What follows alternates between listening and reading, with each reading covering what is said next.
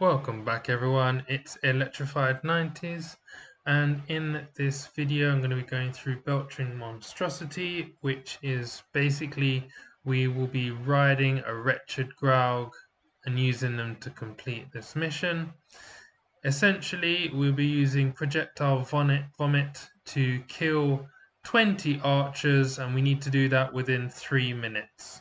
So the tricky thing about this is that you need to pay attention to the Graug's health because not only will the Graug's health be diminished or whittled down by the archer's attacks, but also the projectile vomit that you'll be spitting out from the Graug to kill the archers will also be whittling down his health. So periodically you'll need to eat some archers to restore the Graug's health. And this is how I demonstrate that you do this. Uh, I hope this helps you complete it within the three minutes to achieve that bonus objective. Let me know what you think of the video. Please like and subscribe. Thank you for watching everyone.